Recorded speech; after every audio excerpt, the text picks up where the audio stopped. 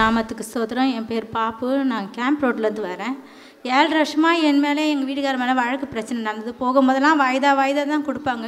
கடைசி நேரத்தில் ரொம்ப எங்களுக்கு ரொம்ப பிரச்சனையாயிடுச்சு.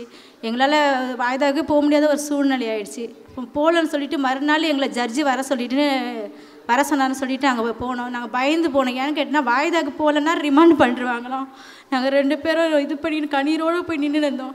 கூப்பிட்டுனா போதுமான சாட்சிகள் இல்லை அந்த கோர்ட் உங்களை விடுதலை செய்துன்னு சொன்னாங்க.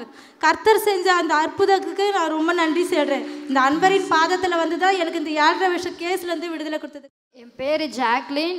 நான் வந்து கொடுங்கையூர்லேருந்து வரேன். எங்கள் மாமியார் வந்து அவங்களுக்கு வந்து இந்த இடது பக்கம் மார்பு பகுதியில் வந்து ஒரு சின்ன பட்டாணி சைஸில் தான் ஒரு கட்டி இருந்துச்சு.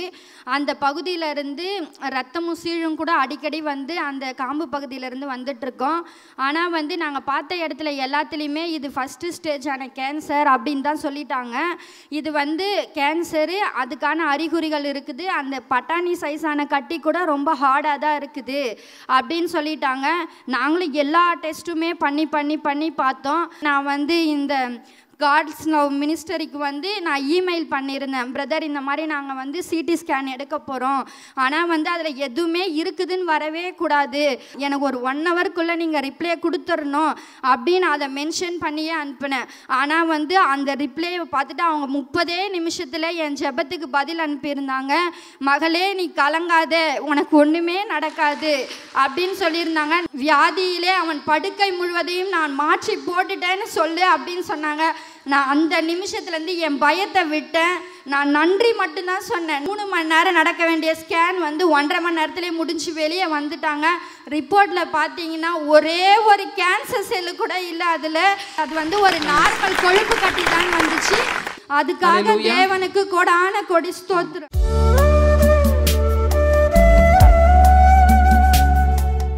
கிறிஸ்துவுக்குள் மிகவும் பிரியமான எனதருமை சகோதர சகோதரிகளே நம்மை சிருஷ்டித்தவரும் நம்மை உண்டாக்கினவரும் நம்மை ஒருபோதும் மறந்து போகாதவருமாகிய இயேசு கிறிஸ்துவின் இணையற்ற நாமத்தினாலே உங்கள் எல்லாரையும் வாழ்த்தி ஆசிர்வதிக்கிறேன். அல்லேலூயா எல்லாரும் சந்தோஷமா இருக்கீங்களா? இந்த நாளிலும் ஆண்டவுடைய பாதப்படியிலே அமர்ந்த என் பிள்ளைகளுக்கு நீர் என்ன வார்த்தை சொல்லுகிறேன் என்ன வார்த்தை சொல்லி பிள்ளைகளை ஆசிர்வதிக்க பரலோகம் திட்டம் வைத்திருக்கிறது. தேவ சமூகத்தில் கண்ணீரோடு ஜபத்தில் தரித்திருந்த பொழுது கர்த்தருடைய ஆவியானவர் நமக்கு கொடுத்த மங்கள வார்த்தை. சங்கீதம் முப்பது பத்தாவது வசனம் பதினொன்றாவது வசனம். வாசிப்போமா? கர்த்தாவே கர்த்தாவே உம்மை நோக்கி கூப்பிட்டேன். உம்மை நோக்கி கூப்பிட்டேன். கர்த்தரை நோக்கி கெஞ்சினேன். கர்த்தரை நோக்கி நான் கெஞ்சினேன். என் புலம்பலை ஆனந்த களிப்பாக மாற பண்ணினீர். என் புலம்பலை ஆனந்த களிப்பாக மாற பண்ணினீர். என் மகிமை அமர்ந்திராமல். என் மகிமை அமர்ந்திராமல். உம்மை கீர்த்தனம் பண்ணும்படியாக. உம்மை கீர்த்தனம் பண்ணும்படியாக. நீர் என் ரட்டை களைந்து போட்டு. நீர் என்னுடைய இரட்டை களைந்து போட்டு. மகிழ்ச்சி என்னும் கட்டினால். மகிழ்ச்சி என்னும் கட்டினால் என்னை இடை கட்டினீர். என்னை இடை கட்டினீர். கர்த்தரை நோக்கி கெஞ்சினேன். என் புலம்பல் ஆனந்த களிப்பாக மாறினது. ஆண்டவடத்தில் யாரெல்லாம் கெஞ்சி ஜெபிச்சு ஆண்டவடத்தில் உதவி கேட்டாங்களோ அவங்களுக்கு ஆண்டவர் உதவி செய்யாமல் இல்லை அவங்க எதுக்காக கெஞ்சினாங்களோ அந்த காரியம் கேட்கப்பட்டது. ஹalleluya ஆமாம் ஒரே ராத்திரியில் காரியம் மாறுதலாய் முடிந்து விட்டது. முதலாவது யாக்கோபுன்னு ஒரு மனுஷன் ஆண்டவிடத்தில் ராத்திரி முழுவதும் கெஞ்சினானாம். எதுக்காக கெஞ்சினா? என்ன நடந்துச்சு? வாசிக்கலாம் ஓசியா தீர்க்கதர்சியின் புஸ்தகம் பனிரெண்டாம் அதிகாரம் மூன்று நான்கு ஆகிய வசனங்கள் இப்படியாய் சொல்லுகிறது. வாசிப்போமா? அவன் தாயின் கற்பத்திலே. தன் சகோதரனுடைய குதிங்காலை பிடித்தான். தன் சகோதரனுடைய குதிகாலை பிடித்தான். தன் பலத்தினால் தேவனோட போராடினான். தன் பலத்தினால் தேவனோடே போராடினான். அவன் தூதனானவரோடே போராடி மேற்கொண்டான். மேற்கொண்டான். அழுது அவரை நோக்கி கெஞ்சினான். அழுது அவரை நோக்கி கெஞ்சினான். பெத்தேலிலே பெத்தேலிலே அவர் அவனை கண்டு சந்தித்து அவர் அவனை கண்டு சந்தித்து அவ்விடத்திலும் நம்மோட பேசினார். அவ்விடத்திலும் நம்மோட பேசினார். யாக்கோபு என்கிற மனுஷன் வெறும் கையும் கோலுமாக யோர்தானை விட்டு கடந்து தன்னுடைய மாமன் ஊருக்கு போகிறான். பிழைப்பிற்காக போகிறான். அவன் போகும் பொழுது அவனுடைய தாயும் தகப்பனும் அவனுக்கு சொத்தை விற்று கொஞ்சம் கூட பணத்தை கொடுத்து இதை வச்சு புழைச்சிக்கான்னு சொல்லி அனுப்பி விடவில்லை. ஒரு பைசா கையில் கொடுத்து அனுப்பலை. மாறாக தங்களுடைய ஆசீர்வாதத்தை மாத்திரம் கொடுத்து அனுப்புனாங்க. ஆசீர்வதித்து உன் மாமன் ஊரில் போய் பிழைச்சிக்கப்பா. ஒரு காரியத்தை தெரிந்து கொள்ளுங்கள். நீங்கள் எத்தனை லட்சம் இன்வெஸ்ட் பண்ணினாலும் கிடைக்காத ஆசீர்வாதம் இலவசமாய் உங்கள் தாய் தகப்பன் மூலமாக கிடைக்கும் என்பதை இன்றைக்கு நீங்கள் புரிந்து கொள்ள வேண்டும். அலலோயா நீங்கள் பைபிளில் பார்த்தீங்கன்னா அவங்க அப்பாட்ட சண்டை போட்டு சொத்தை எல்லாம் பிரித்து வாங்கிட்டு ஒருத்தன் போனான் ஊதாரி மைந்தேன் இளைய மகன்னு பேர். ஆமேன் தன்னுடைய சொத்தை எல்லாம் கொண்டு போய் தொழில் பண்ணி வெளியூரில் போய் நல்ல பெரிய ஆள் ஆயிடலாம் அவங்க அப்பாவோட பெரிய ஆள் ஆயிடலான்னு சொல்லிட்டு பயங்கரமாக கோட்டை கட்டிட்டு போனான் ஆனால் எல்லாவற்றையும் இழந்து கடைசியாக சாப்பாட்டுக்கு வழி இல்லாமல் பன்றிக்கு கிடைக்கிற சாப்பாடு தவிடு கூட இல்லாமல் கடைசியாக திரும்பி வர்றான். வித்தியாசத்தை நல்லா கவனிங்க. தகப்பனுடைய மனவேதனையை அவன் சுமந்து கொண்டு போனான். பணம் கொண்டு போனான். சொத்து கொண்டு போனான். எக்கச்சக்கமான செல்வங்கள் கொண்டு போனான். ஆனால் தகப்பன் ஆசீர்வாதம் அவனுக்கு கிடைக்கல. தகப்பன் மனவேதனையோடு தான் சொத்தை பிரித்து கொடுத்துருப்பாரு. யோசித்து பாருங்க. உங்களை பார்த்து சொல்கிறார் அப்பா அம்மா உயிரோட இருக்கும்போது சொத்து பிரித்து கேட்குற தைரியம் ஒருவனுக்கும் வரக்கூடாது. ஒரு சகோதரிக்கும் வரக்கூடாது. அல்லேலூயா அது அவங்கள உயிரோட கூறு போடுறதுக்கு சமம். உங்கள் அப்பா அம்மாவை உயிரோட கூறு போடணும்னு நினச்சா அவங்க உயிரோட இருக்கும்போது கூறு போட்டு கேளுங்க.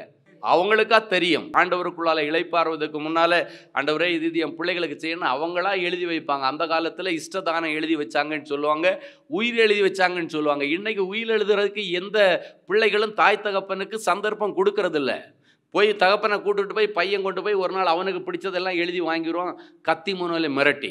அங்கேருந்து விடுதலை பெற்று இங்கே வர்றதுக்குள்ள மக மிரட்டி எனக்குள்ளதை கொடுங்கன்னு அவ கொண்டு போய் ரெஜிஸ்டர் ஆஃபீஸில் தகப்பனுடைய கழுத்தில் கத்தியை வச்சுட்டு எனக்கு எழுதி கொடுங்கன்னுவாங்க. இன்றைக்கி தாய் தகப்பனை கத்தியை காட்டி மிரட்டி சொத்தை எழுதி வாங்குகிற ஜனங்கள் அதிகமாக இருக்கிறார்கள். அன்னைக்கு இப்படி தான் அந்த இளைய குமாரன் தகப்பனை மிரட்டி நான் அதாவது பண்ணிடுவேன்னு சொல்லி மிரட்டி சொத்தையெல்லாம் வாங்கிட்டு போனான் தன்னுடைய தகப்பனுடைய இருதயம் ரொம்ப துக்கப்பட்டது. அதை கொண்டு போனான் அவனால் ஒரு பைசா மிச்சம் பிடிக்க முடியவில்லை. எல்லா செல்வங்களையும் ஆஸ்திகளையும் இழந்து வேசிகளிடத்தில் கொடுத்து கடைசியாக சாப்பாட்டுக்கே வழி இல்லாமல் பிச்சை எடுக்கிற நிலமையில் ஒரு பண்ணிய மேய்க்கிற வேலை கடைசியாக கிடைச்சா போதுன்னு சொல்லி அதுக்கு போகிற அங்கேயும் இந்த பன்றிக்கு கிடைக்கக்கூட தவிடு கூட கிடைக்கல. இதுதான் தகப்பன் தாயுடைய வைத்தறிச்சலை கொட்டி கொண்டு சாதிக்க போகிறேன்னு போகிற பிள்ளைகளுடைய நிலைமை. இதை கேட்டுக்கொண்டிருக்கிற யாருக்கு இந்த நிலைமை வரக்கூடாது. ஆனால் இந்த யாக்கோபுக்கு நிலைமை என்ன தெரியுமா? அவங்க அப்பா அம்மா கூப்பிட்றாங்க எப்பா நான் வெள்ளியும் பொண்ணும் பணமும் உங்ககிட்ட கொடுத்து அனுப்பலை. நாங்கள் ரெண்டு பேரும் நல்ல நிறைவாக உன்னை ஆசிர்வதிச்சு அனுப்புகிறோம் அப்படின்னு சொல்லி வசனத்தை படித்து பார்த்தா கிளியராக எழுதியிருக்கு. அந்த தாயின் தகப்பனை இவனை ப்ளஸ் பண்ணி நீ உங்கள் மாமன் ஊரில் போய் பொழைச்சிக்கடான்னு சொல்லி அனுப்பி விட்டுட்டாங்க. அந்த பிளஸ்ஸிங்கோட போனால் அவன் பரிவாரங்களோடு திரும்பி வந்தான். அலலூயா அவன் தரித்திரனாய் வந்தான். ஆனால் இவன் பரிகாரங்களோடு வந்தான். இவன் இங்கிருந்து போகும் பொழுது தாய் தகப்பனுடைய ஆசீர்வாதத்தை மாத்திரம் சுமந்து போனான். ஆனால் அவனோ எல்லா செல்வங்களையும் இழந்து போனான். ரெண்டுக்குள்ள வித்தியாசம் என்னன்னா அவன் தரித்திரனாய் வந்தான். தரித்திரனாய் போன யாக்கோபு செல்வ சீமானாய் வந்தான். அலலுயா சரி அப்படி அவன் மாமன் ஊரில் போய் பிழைச்சி நல்ல செல்வங்கள் எல்லாம் சேர்த்துட்டு நல்ல மிருக ஜீவன்கள் வெள்ளி பொண்ணு நிறைய செல்வங்கள் எல்லாம் சேர்த்துட்டு பரிவாரங்களோட திரும்பி ஊருக்கு வர்றான். அவனுக்கு ஒரு பக்கம் ஒரு பெரிய சந்தோஷம் நம்ம லைஃப்பில் செட்டில் ஆகிறதுக்கு சொந்த ஊருக்கு வரோம் பொதுவாக சொல்லுவாங்க எந்த ஊரில் வேலைக்கு போனாலும் கடைசி காலத்தில் ஊரில் செட்டில் ஆக போகிறேன்னு சொல்லுவாங்க. ரிட்டையர்ட் ஆனதுக்கப்புறம் கடைசியாக நம்ம ஊர் தான் நமக்கு லாயக்கப்படும் நம்ம ஊரில் போய் செட்டில் ஆகிடணும்னு போகிறத நம்ம பார்த்துருக்குறோம். இவன் அதே போல் மாமன் ஊர்லேருந்து கடைசியாக சொந்த ஊரில் போய் நீ செட்டில் ஆகலாம் ஏன்னா நல்ல பரிவாரங்கள் செல்வங்கள் எல்லாம் மனைவி பிள்ளைகள் எல்லாம் இருக்குது நம்ம போய் ஊரில் செட்டில் ஆகலான்னு வருகிறான். வரும் பொழுது யோர்தான் நதிக்கரையில் மனைவி பிள்ளைகளை எல்லாம் அந்த கரைக்கு அப்புறம் சேர்த்துட்டான். இவன் இந்த பக்கத்தில் உட்காந்து ராத்திரி முழுவதும் புலம்பி கொண்டிருக்கிறான். என்ன தெரியுமா புலம்பல்? ஆண்டவரே இன்னைக்கு எனக்கு செல்வம் பணம் எல்லாம் இருக்குது ஆனால் ஒன்றும் இல்லை என் சகோதரனோடு நல்ல ஐக்கியம் இல்லை. என் சகோதரன் என் மேலே ரொம்ப கோபமாக இருக்கிறான். ஏன்னா அவனுடைய சேஷ்டபுத்திர அபிஷேகத்தை நான் ஏமாற்றி வாங்கி கொண்டேன். எங்கள் அண்ணனுக்கு கிடைக்க வேண்டிய ஆசீர்வாதத்தை நான் வாங்கிக்கிட்டேன். எங்கள் அண்ணன் ரொம்ப கோபமாக இருக்கிறான். இப்போ எனக்கு எல்லாம் இருக்கிறது. ஆனால் என் அன்பு அண்ணனோடு ஒரு உறவில்லை ஆண்டவரே என்கிற ஏக்கம். எங்கள் அண்ணன் நாளைக்கு என்ன பண்ணுவானோ ஒரு மரண பயம். முந்தின நாள் தன்னுடைய வேலைக்காரர்களிடத்தில் நிறைய பரிசு பொருட்களை எல்லாம் கொடுத்து அவங்க அண்ணனை சமாதானப்படுத்தணும். அவங்க அண்ணனை எப்படியாவது கூல் பண்ணணும்னு சொல்லி நிறைய பரிசு பொருட்களை எல்லாம் கொடுத்து அனுப்பிட்டான். ஆனாலும் அவனுக்கு தெரிகிறது என் அண்ணன் இந்த பரிசு பொருட்களிலே மயங்க மாட்டான். அவனுக்கு நல்லா தெரியுது. இவன் பரிசு பொருள்களுக்கு மயங்க மாட்டான். நாளைக்கு ஒருவேளை நான் இந்த ஊருக்குள்ளே போகும்போது என்னுடைய அண்ணன் தன்னுடைய ஆட்களை வைத்து அவனுடைய இனஜன பந்துக்களை வைத்து எனக்கு கேடுபாடு பண்ணி விடுவானோ? என் பிள்ளைகளை கொன்று விடுவானோ? என் மனைவிக்கு கேடு பண்ணி விடுவானோ? இருதயத்தில் ஒரு விதமான பயமும் கலக்கமும் நிறைந்த நிலைமையில் எல்லா செல்வமும் இருந்தாலும் இருதயம் கலங்கி போயிருந்தது. ராத்திரி உட்காந்து அப்படியே புலம்பிக் கொண்டிருக்கிறான். நீங்கள் அந்த வசனத்தை வாசா தெரிய எல்லாரையும் அக்கறை சேர்த்துட்டான். ஆனால் இவன் மட்டும் தனியுமே உட்காந்து புலம்பிக்கிட்டு இருக்கிறான். என் அன்பு சகோதரனே சகோதரியே ஒரு மனுஷன் இருதயத்தில் வேதனை பெற்று அவன் புலம்பும் பொழுது அவனுடைய ஆண்டவர் அவன் அருகாமையிலே வந்து அமருகிறார். அவன் புலம்பிட்டு இருக்கிறத பார்த்த உடனே ஆண்டவருக்கே பரிதாபமாக போச்சு. என் பிள்ளை யாக்கோபு ராத்திரியெல்லாம் உட்காந்து புலம்பிக்கிட்டு இருக்கானே. அவனுக்கு எதையாவது செய்வேன்னு சொல்லி சிங்காசனத்தில் இருந்த ஆண்டவர் இந்த யாக்கோபுக்கோ பக்கத்தில் வந்து உட்காந்துட்டார் அலலுயா தனியாக உட்காந்து புலம்பிக்கிட்டு இருந்தான். யாருமே கூட இல்லை. தனியாக உட்காந்துருக்கிற நேரத்தில் அவனுடைய புலம்பலை கேட்டு ஆண்டவர் நேரம் அவன் பக்கத்தில் வந்து உட்காந்துட்டாரு உட்கார்ந்த உடனே இவனுக்கு தெரிஞ்சு போச்சு இவன் ராத்திரி முழுவதும் ஆண்டவருடைய காலை பிடித்து கெஞ்சுகிறான். ஆண்டவரே என்னை நீர் ஆசீர்வதிச்சுட்டான். இந்த இடத்த விட்டு போனேன். ஆனால் நாளைக்கு காலையில் என்னுடைய எதிர்காலம் உங்கள் கையில் இருக்குது. நாளைக்கு எனக்கு வாழ்வா சாவா என் பிள்ளைகளுக்கு வாழ்வா சாவா எல்லாமே உங்கள் கையில் தான் இருக்குது நீங்கள் என்ன பண்ணுவீங்களோ தெரியாது. என்னை ஆசீர்வதிக்காம உங்களை போக விட மாட்டேன்னு ராத்திரி முழுவதும் கெஞ்சுகிறான். ஆண்டவர் அவனை சோதிக்கிறதுக்காக வேண்டி கொஞ்ச நேரத்தில் அவனுக்கு சரிப்பா பிரச்சனையை தீர்த்து வச்சிடுறேன்னு சொல்லிட்டு போகலை. நைட்டு பத்து மணி பிரச்சனையை தீர்த்து வச்சுட்டு ஆண்டவர் போகலை. பன்னெண்டு மணி வரைக்கும் போராடுகிறான். நைட்டு பன்னெண்டு மணி ஆச்சு. சரி இதுக்கு மேலே இவனை கெஞ்ச விட வேண்டாம்னு சொல்லி என் இயேசு அவனை அந்த நேரத்தில் அவர் பன்னெண்டு மணியோட அந்த பிரச்சனைக்கு முடிவை கொண்டு வரல. காலையில் ஒரு மணி ஆச்சு ரெண்டு மணி ஆச்சு ஏழு மணி நாலு மணி அஞ்சு மணி காலையில் நேரம் விடிய போகிற நேரத்தில் கூட அவன் கெஞ்சுகிறதை நிறுத்தலையான்னா இந்த வாய்ப்பை நழுவ விட்டுறக்கூடாது. ஆண்டவர் தன்னோடு இருக்கிற தன் பக்கத்தில் வந்து அமர்ந்திருக்கிற இந்த வாய்ப்பை நழுவ விட்டுறக்கூடாதுன்றதுல ரொம்ப உறுதியாக இருந்தான். ரொம்ப உறுதியாக இருந்தான். இன்றைக்கும் ஆண்டவர் உங்களுக்கு வாய்ப்பு கொடுத்துருக்கிறாரு. இந்த வாய்ப்பை நழுவ விட்டுறாதீங்க. ஹalleluya இந்த வாய்ப்பை பிரயோஜனப்படுத்திக் கொள்ளுங்க. இனேசு உங்கள் அருகாமையிலே வந்து அமர்ந்திருக்கிறார். அதுதான் உண்மை. காலையில் நேரம் வெடிகிறது வரைக்கும் ஆண்டவர் பார்த்தாரு. இவன் நம்மளை விட மாட்டான் இதுக்கு மேலே இவனை ப்ளஸ் பண்ணியே ஆகணும்னு சொல்லி அதிகாலையில் ப்ளஸ் பண்ணி ஆண்டவர் அவனை அனுப்பிவிட்டார் ஆண்டவர் போய்விட்டார் பரலோகத்திற்கு. அடுத்த நாள் காலையில் என்ன நடந்தது தெரியுமா? இரவோடு இரவாக காரியம் மாறுதலாய் முடிந்தது. ஆண்டவருடைய காலை பிடிச்சி அவன் கெஞ்சி கொண்டிருக்க கெஞ்சி கொண்டிருக்க அவனுடைய அண்ணனுடைய கல்லான இருதயம் கொஞ்சம் கொஞ்சம் கொஞ்சமாக மாறி அப்படியே இழகி கொண்டே வந்தது. லூயா காலையில் ஆண்டவர் ப்ளஸ் பண்ணி முடிச்சிட்டு போனார். அடுத்த நிமிஷம் அவன் அங்கிருந்து ஓடி வருகிறான். இவனுக்கு தீங்கு செய்ய வேண்டிய அவனுடைய சகோதரன் அவனுடைய அண்ணன் ஆகிய ஏசா இவனை பார்த்த உடனே ஓடி வந்து ரெண்டு பேரும் கட்டி தழுவி முத்தமிட்டு கழுத்தை இறுக பிடித்து கொண்டு அழுதார்களாம். அல்லேலூயா ராத்திரி முழுவதும் அழுகை ஆனால் காலையிலே ஆனந்த கண்ணீர். இரவு முழுவதும் வேதனையின் கண்ணீர் காலையில நேரம் முடிஞ்ச உடனே கண்ணீர் விட்டு அழுது தங்களுடைய அன்பையும் ஐக்கியத்தையும் அவர்கள் புதுப்பித்து கொண்டார்கள். இதுதான் ஆனந்த கழிப்பாய் மாற்றுகிற ஆண்டவருடைய செயல். இதுதான் ஆண்டவரிடத்திலே கெஞ்சுகிற ஒரு மனுஷனுக்கு ஆண்டவர் கொடுக்கிற பரிசு. இன்றைக்கு நீங்களும் யாக்கோபை போல புலம்பிக் கொண்டு வந்திருக்கலாம்.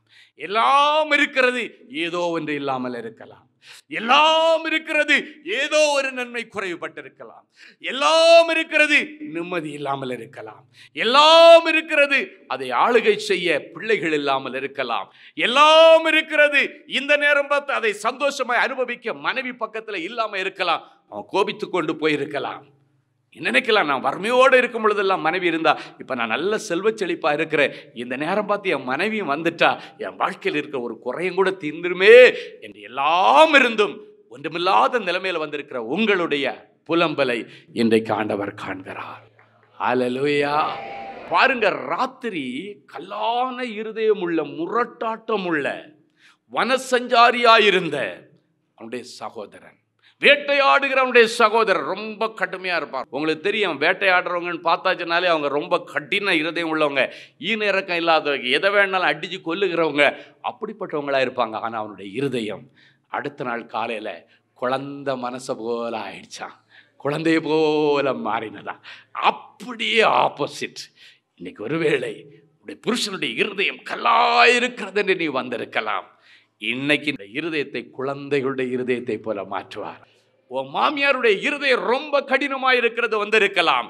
இன்றைக்கு நீங்கள் போகும் பொழுது உன்னுடைய மாமியுடைய இருதயம் குழந்தை இருதயமாய் மாறும். உன்னுடைய மருமகள் ரொம்ப கொடுமைக்காரி அப்படின்னு நீங்கள் சொல்லிட்டு இருக்கலாம் உன்னுடைய மருமகளுடைய இருதயம் இனி குழந்தைகளுடைய இருதயத்தை போல மாறப்போகிறது. அலலுயா காரணம் ஒரு மனுஷனுடைய இருதயங்களை மாற்றுகிற திராணி நம் ஆண்டவிடத்தில் இருக்கிறது. ஹலலுயா மட்டும் இல்லை பிரிந்து கிடந்த குடும்பம் ஒன்றாக இணைந்தது.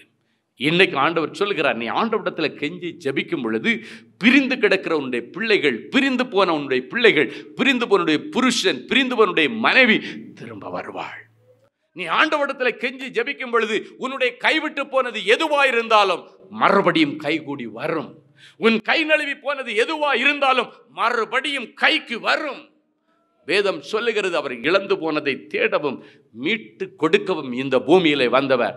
இன்றைக்கு நீ எதை இழந்திருந்தாலும் சரி பொன்னை இழந்தாலும் சரி பொருளை இருந்தாலும் சரி பணத்தை இழந்தாலும் சரி சுகத்தை இழந்தாலும் சரி அபிஷேகத்தை இழந்தாலும் சரி வரங்களை இழந்திருந்தாலும் சரி இன்றைக்கு நீ இழந்து போன அத்தனையும் மறுபடியும் பெற்றுக்கொள்ள இயேசு இந்த நாளை உனக்காக வைத்திருக்கிறார். அலலுயா செய்ய வேண்டியது ஒன்றே ஒன்று. இன்னைக்கு போகிறதுக்கு முன்னால் ஆண்டவரிடத்தில் கெஞ்சி மன்றாடி ஆண்டவர் கொடுத்த நிச்சயத்தை வாங்கிட்டு தான் நீங்கள் போகணுமே தவிர ஏதோ அஞ்சு நிமிஷம் கேட்டுட்டு அரை மணி நேரம் கேட்டுட்டு ஒரு மணி நேரம் கேட்டுட்டு யாக்கோபு விட்டுருந்தானேன்னு அவனுக்கு அந்த ஆசீர்வாதம் கிடைச்சிருக்காது. அடுத்த நாள் காலையில் அவனுக்கு ஆனந்த கழிப்பு உண்டாயிருக்காது. வசனம் சொல்லுகிறது ராத்திரி உனக்கு அழுகை காலையில் ஆனந்த கழிப்பு. காலையிலே உன கழுகை மாலையிலே ஆனந்த கழிப்பு. இன்றைக்கு அந்த வார்த்தை தான் கத்தவங்களுடைய உங்களுடைய சிறுசிலே வைக்கிறார். இன்னைக்கு நீங்க வரும் பொழுது வேதனையோடு வந்திருக்கலாம் அழுகையோடு வந்திருக்கலாம். போகும் பொழுது நீங்கள் ஆனந்த கழிப்போடு புறப்பட்டு போக போகிறீர்களா. அல்லலுயா போன மாதம் நாங்கள் நடத்தின அன்பரின் பாதத்தில் ஒரு நாள் கூட்டத்தில் நான் செய்தி கொடுத்துட்டு இருக்கும்போது திடீர்னு நான் ஒரு தரிசனத்தை பார்க்கிறேன். செய்தி போயிட்டே இருக்குது. திடீர்னு பார்த்தா ஒரு விஷன் எனக்கு தெரியுது. உடனே நான் அந்த செய்தியை கட் பண்ணி அந்த விஷனை சொல்லிட்டு செய்திக்குள்ளால என்றாகிறேன் என்னன்னு பார்த்தா கீழே சமையல் நடந்துட்டு இருக்கும் மீட்டிங் முடிஞ்சோடனே வந்து வந்த எல்லாருக்கும் ஒரு சின்ன ஆகாரம் கொடுப்போம். தயிர் சாதமோ சாம்பார் சாதமோ ரச சாதம் ஏதாவது சிம்பிளாக ஏன்னா உபவாசத்தை முடித்து அவங்க போகிறதுக்கு முன்னால் ஒரு சின்ன ஆகாரம். அதை ப்ளஸ் பண்ணி ஜெபம் பண்ணி கொடுப்போம். ஆனால் அன்னைக்கு நான் தரிசனத்தில் பார்க்குறேன் அந்த சமையல் கட்டில் தேவதூதர்கள் நின்று சமையல் பண்ணிட்டு இருக்கிறாங்க.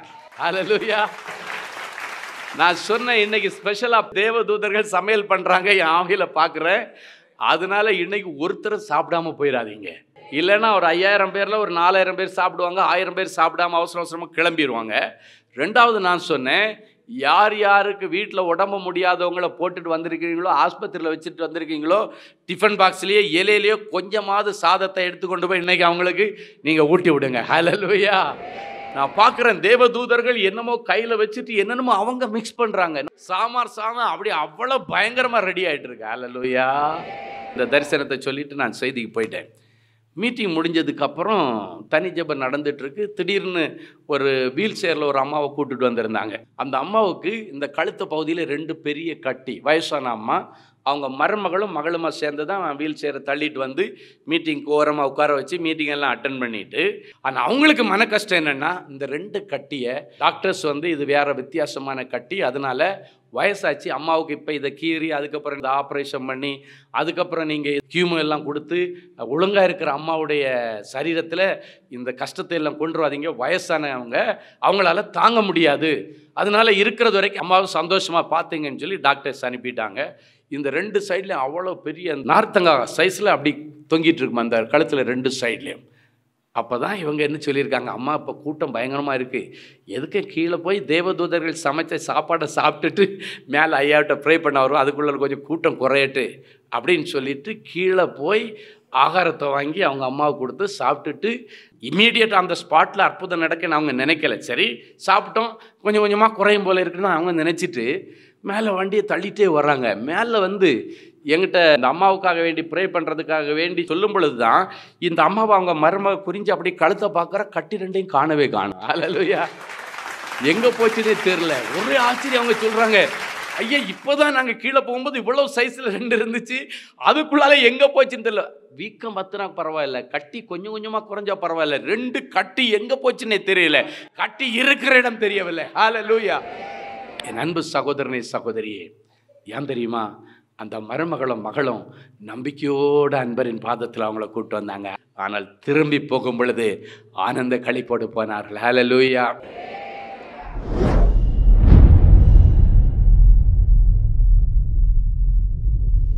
என் அன்பு தேவனுடைய பிள்ளைகளே நல்ல தேவ செய்தியை கேட்டீர்கள். அருமையான சாட்சிகளையும் பார்த்தீர்கள். இப்பொழுது நாம் யாவரும் ஜெபிக்கலாமா? பரிசுத்த பிதாவே உமக்கு நன்றி. இயேசுவின் நாமத்தினாலே என் பிள்ளைகளை நான் மனதார வாழ்த்தி ஆசீர்வதிக்கிறேன். எனக்கு எப்பொழுதும் மாறுதல் வரும்? முன்பிருந்த சீரிருந்தால் நலமாயிருக்குமே என்று யோபு ஜபித்தது போல அநேக பிள்ளைகள் இந்த நிகழ்ச்சியை பார்த்து கொண்டு என் வாழ்க்கையில் எப்பொழுது ஒரு மாற்றம் வரும்? என் வாழ்க்கையில் இதே போல் ஒரு அற்புதம் எப்பொழுது நடக்கும்? என்னுடைய வாழ்க்கையில் இதே போல் ஒரு அதிசயம் நடக்குமா? என்றெல்லாம் அநேக கேள்விகளோடு நிற்கிற என் பிள்ளைகளை பார்த்து ஆண்டவர் சொல்லுகிறேன் நிச்சயமாக முடிவு உண்டு. உன் நம்பிக்கை வீண் போகாது. உன்னை திக்கற்றவனாக திக்கற்றவளாக ஒருபோதும் விடுவதில்லை. மற்றவர்களை பார்த்து நீ சொல்லியிருக்கலாம் உன் அவர்கள் எள்ளி நகையாடும் போது உன்னை கேவலமாய் பேசும்போது எனக்கும் ஒரு காலம் வரும் என்று ஏதோ ஒரு குருட்டு நம்பிக்கையில் நீ சொல்லியிருக்கலாம். இல்லைன்னா ஏதோ ஒரு பேச்சுவாக்கில் சொல்லியிருக்கலாம். அது சாதாரண பேச்சுவாக்கில் வந்ததல்ல. குருட்டு நம்பிக்கையில் வந்ததல்ல. ஆண்டவர் தான் அந்த வார்த்தையை சொல்ல வைத்தார். எனக்கும் ஒரு காலம் வரும் என்று சொன்னாயே உன் காலம் வந்துவிட்டது என்று ஆண்டவர் சொல்லுகிறார். இது உனக்கு அனுக்கிரகத்தின் நாள். இதுவே உனக்கு ரட்சணிய நாள். இதுவே உனக்கு அற்புதத்தின் நாள். இயேசுவின் நாமத்தினாலே இன்றைக்கு என் பிள்ளைகள் விரும்பின காரியத்திலே இன்றைக்கே ஒரு அற்புதம் நடப்பதாக. இந்த நிமிஷத்தில் என் பிள்ளைகளுக்கு நடக்கட்டும். ரெண்டாயிரம் வருஷங்களுக்கு முன்பாக நன்மை செய்கிறவராய் சுற்றி தெரிந்த என் ஆண்டவர். என் பிள்ளைங்களுக்கு இன்னைக்கு நல்லது செய்யப்பா. என் பிள்ளைகள் இன்னைக்கு வரைக்கும் அனுபவித்த கொடுமைகளுக்கும் அவமானங்களுக்கும் இன்றைக்கு முடிவு வரட்டும். கனம் பொருந்தின பாத்திரமா என் பிள்ளைகளை மாற்றும் சினிமையால் சொன்னாள் என்னை கர்த்தர் கனம் பொருந்தின பாத்திரமாய் வைத்திருக்கிறார். அதே போல இவர்களையும் கனம் பொருந்தின பாத்திரமாக கௌரவத்தோடு என் பிள்ளைகளை வாழ வைங்கப்பா. எங்கேயும் போய் என் பிள்ளைகள் பிச்சை எடுக்க நீர் அனுமதிக்க கூடாது என் பிள்ளைகள் நல்லா வாழ்ந்து சுவிச்சத்தை நிறைய பேருக்கு அள்ளி கொடுக்கக்கூடிய செல்வ சீமான்களாக சீமாட்டிகளாக ஆசீர்வதிக்கிறேன். இன்றைக்கே அவைகள் நிறைவேறட்டும். எல்லா கடன் பிரச்சனைகள் மாறட்டும். வியாதிகள் மாறட்டும். மரண பயத்திலிருந்து என் பிள்ளைகளை விடுதலையாக்கி சமாதானத்திலே என் பிள்ளைகளை நிலைநிறுத்துவீராக. தொடர்ந்து உடைய நாமம் ஒன்றே மகிமைப்படட்டும். இயேசுவின் மூலம் பிதாவே. ஆமே Genesis Creations Media Academy. Certification in Media Technology. Our course includes videography, photography,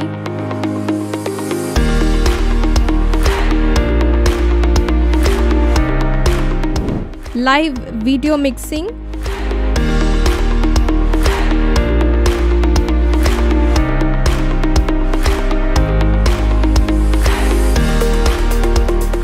Photoshop, live sound mixing,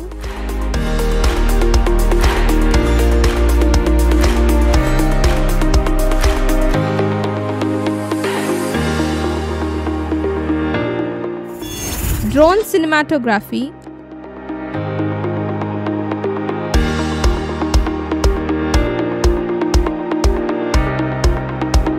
and video editing.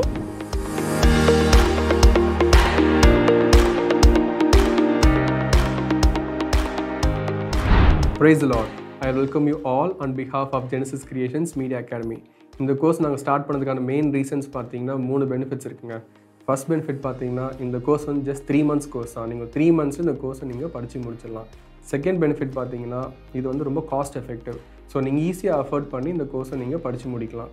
மூணாவது பார்த்தீங்கன்னா இங்கே வந்து professional teaching with professional equipments கொடுக்குறோம். ஸோ நீங்கள் ஃப்யூச்சரில் எங்கேயாவது போய் ஜாப் ஜாயின் பண்ணாலும் சரி இல்லை நீங்கள் வந்து பிஸ்னஸே ஆரம்பித்தாலும் சரி அந்த ப்ரொஃபஷனல் எக்யூப்மெண்ட்ஸை ஹேண்டில் பண்ணுறதுக்கான ப்ரொஃபஷனல் ட்ரைனிங் நாங்களே உங்களுக்கு கொடுத்துருவோம். ஸோ நீங்கள் கோர்ஸ் முடிச்சுட்டு வெளியே போகும்போது உங்களுக்கு ஜாப் கைடன்ஸ் அண்ட் இன்டர்ன்ஷிப் நாங்களே கொடுத்துருவோங்க. ஸோ இதுக்கும் மேலே உங்களுக்கு ஏதாவது டீட்டெயில்ஸ் வேணும்னா நீங்கள் ஸ்டாஃபை காண்டாக்ட் பண்ணலாம். உங்களுக்கு எல்லா டீட்டெயில்ஸும் கொடுப்பாங்க.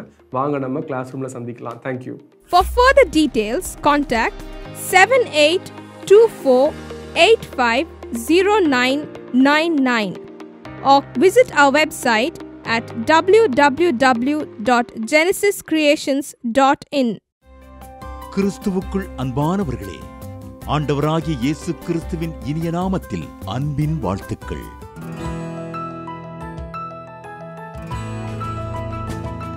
எங்களுடைய மார்வெல் திருமண தகவல் மையத்தை ஆன்லைன் சேவை மூலம் உங்களுக்கு அறிமுகப்படுத்துவதில் நாங்கள் மிகுந்த மகிழ்ச்சி அடைகிறோம். எங்களது மார்வெல் திருமண மையம் கிறிஸ்தவ குடும்பத்தில் திருமணத்திற்கு ஆயத்தமாயிருப்பவர்கள். தங்களுக்கு ஏற்ற வாழ்க்கை துணையை தேர்ந்தெடுக்க சிறந்த திருமண சேவை மையமாக இருக்கிறது. மேலும் மார்வல் திருமண தகவல் மையத்தில் நீங்கள் பதிவு செய்வதற்கு எங்களது இணையதள முகவரி W W W dot Marvel Matrimony dot com மற்றும் அலைபேசி எண் ஏழு எட்டு இரண்டு நான்கு எட்டு ஐந்து ஐந்து ஒன்பது ஒன்பது ஒன்பது என்ற எண்ணிற்கு தொடர்பு கொள்ளலாம். சென்னை நாகர்கோவில் மற்றும் மும்பை நகரில் உள்ளவர்கள் பதிவு செய்ய விரும்பினால் கீழ்க்கண்ட விலாசங்களில் உள்ள எங்களது அலுவலகங்களோடு தொடர்பு கொள்ளலாம். தேவனின் அன்பு ஊழியங்கள் எண் பதினான்கு Ramalinga Nagar OMR road SRP tools அருகில் கொட்டிவாக்கம் சென்னை நாற்பத்தி ஒன்று. Email info at Marvel Matrimony dot com ஆண்டவர்தாமே உங்களை அளவில்லாமல் ஆசீர்வதிப்பாராக.